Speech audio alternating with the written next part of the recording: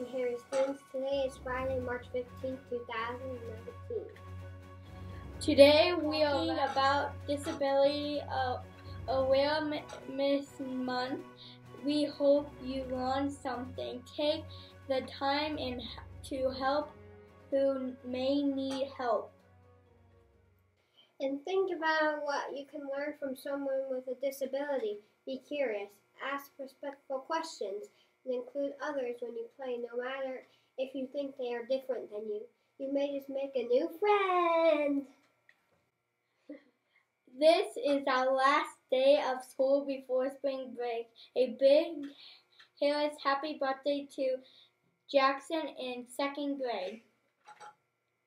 Today for lunch we'll have sausage, eggs, potato cubes, apple juice, and cinnamon rolls. Terrific!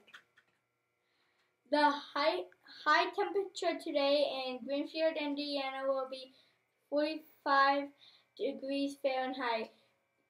We may see some showers out again this evening. Here's kids, make sure to be positive today. Can you show PAWS at home over spring break?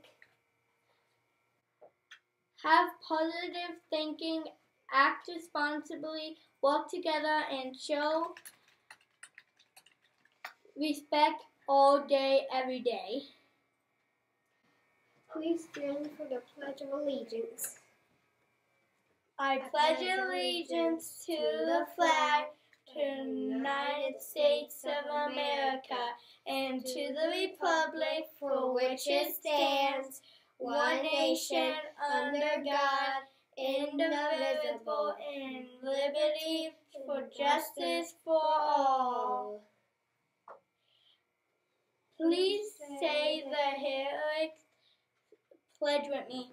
To the Harris School we pledge today to be honest and true, and to the very best we can in everything we do.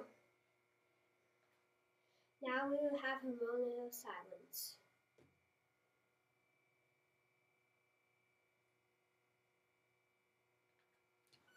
Make it a positive Friday Harris Elementary.